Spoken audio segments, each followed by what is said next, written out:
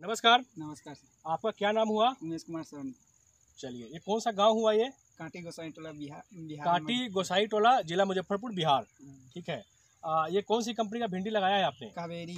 Kaveri seed company का। कौन सा है ये भिंडी का नाम? ग्यारह ज़ीरो सात। ग्यारह ज़ीरो सात। आपको ये भिंडी कैसा लग रहा है? हमारे हमारे हिसाब से तो सही लग रहा है। मतलब हिसाब में क्या क्या सही लगा आपको? जैसे में? जैसे में मई से रोपनी की और उसके बाद अक्टूबर।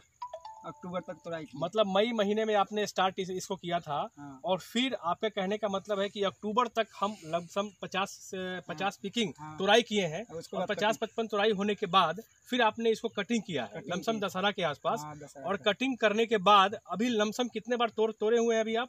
दस दस बार दस से बारह बार लगभग आपने हाँ, तोड़ा है। और तोड़ने के बाद भी अभी क्या लग रहा है? अभी कितना दिन तक और चलेगा? अपने तो लग रहा है कि एक महीना और चलेगा। एक महीना लगता है पौधा देखे कि और चलेगा आपका।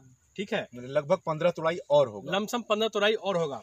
चलिए बहुत अच्छा है। आज हमारे हमारे बीच में अ, हमारे साथ इस गाँव के बहुत सारे अ, किसान बंधु भी जो है यहाँ पे उपस्थित हैं और साथ में कमलेश्वर भी यहाँ उपस्थित हैं और साथ में हमारे डिस्ट्रीब्यूटर भी हैं ओम कृषि केंद्र रमेश जी।